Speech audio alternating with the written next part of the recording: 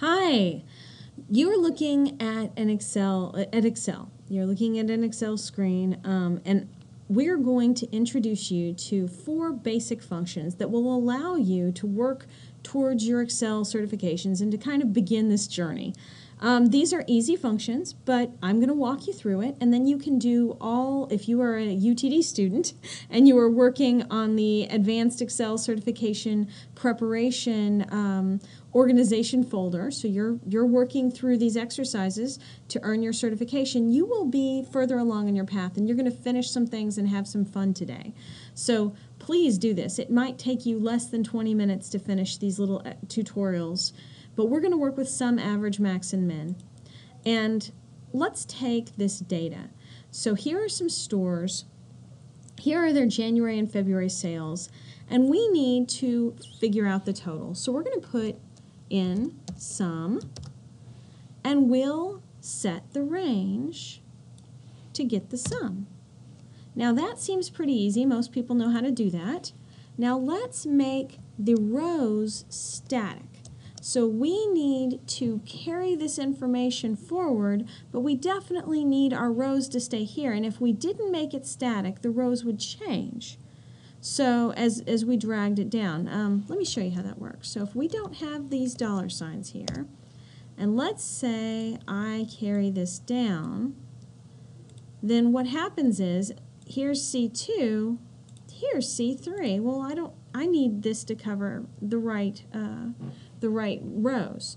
So when, when I make my rows static and I put the dollar sign here, um, but I'm not making the column static, I can do some interesting things. So I can carry this forward here, and notice how the column changes. I can carry this down, and we have the same number. Okay, I can carry this down too. Now, I don't want to, sum is great, sum is a total, but I don't want to have a sum for everything. Let me take away my borders real quick. I'll put, put them back. So I'm going to change uh, change sum to average. Now that's easy. To get the average, you type in average and you put in your range. So that changes that. Let me change this over here. Um, now I could also carry this since I'm allowing my column to change and I would have the same answer here. So I can take these two out if I want and just I can make this max and I can make I can carry this over here and that will change because my see how that's there's D and there's C now if I wanted my column to stay static I would put the dollar sign right before the column.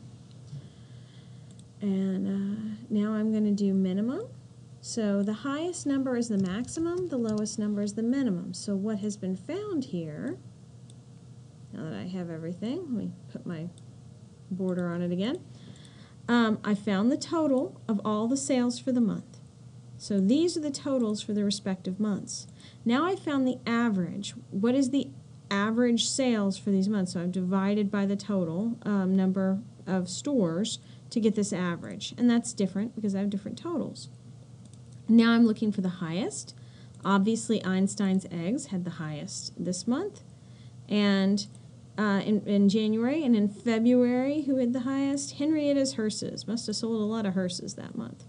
And then for my lowest, Five, uh, 452, uh, poor Inigo and his igloos, so low. And then 5,615 and 61 cents. That's for uh, Kelly's keepsakes.